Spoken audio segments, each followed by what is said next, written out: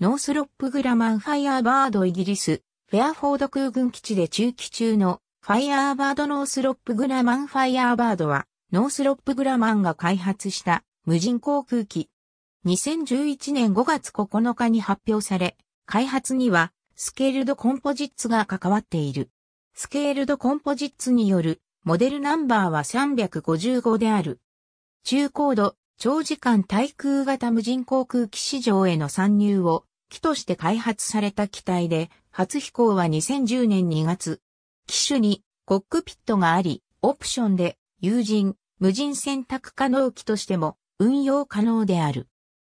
ファイヤーバードは2011年4月に引退したアメリカ合衆国の著名な航空機設計家であるバート・ルータンによって設計、監修された最後の航空機の一つで最高速度時速 370km、運用高度 9100m、最長航続時間40時間で飛行するメール UAV となっており、機体は総動機で微端にエンジンと5羽のプロペラを取り付けたプッシャー型配置を取り、プロペラを避けるために、ソーテールブームを伸ばして、門型に垂直尾翼と水平尾翼が取り付けられている。主翼は細長い翼前縁に全身角を持つ。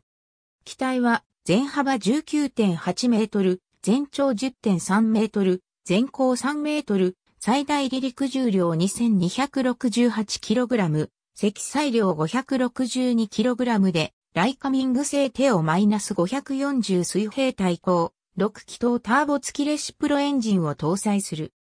ファイヤーバードは、テオマイナス540エンジンの出力350馬力から制限が大きいものの、パイロンを介してハードポイントを設置して武装化することもできる設計となっている。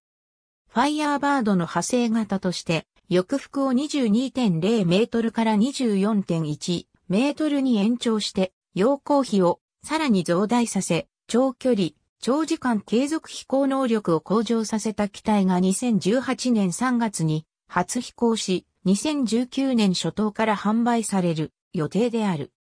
ファイアバードは、モジュール構造の偵察用ペイロードを有しており、最大4機の情報収集機器を搭載でき、これらの機材は1時間程度で交換可能である。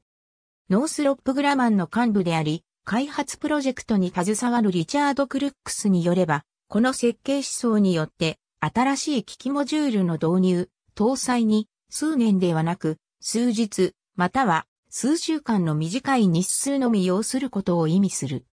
ファイヤーバードにはこれまでにフリアシステムズ製電子工学、赤外線センサー、ノースロップグラマン製電子支援対策装置や通信中継ポッドスマートノード、ハリス製高帯域通信用無線機など15種類以上の機材が搭載されている。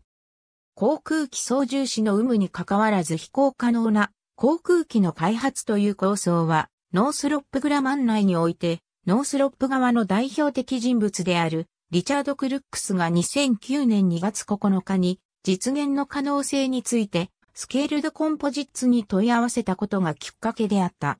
両者の目的が一致して開発されたファイアーバードは2010年2月9日に初飛行した。2010年10月、ファイアーバードはカリフォルニア州のサクラメントで防衛当局者に対してデモ飛行を行った際に初公開され、2011年5月9日に初めて一般公開、同年5月23日から6月3日の期間で開催されたエンパイアチャレンジ11演習に参加し、複数の機材の搭載及び交換する能力を示した。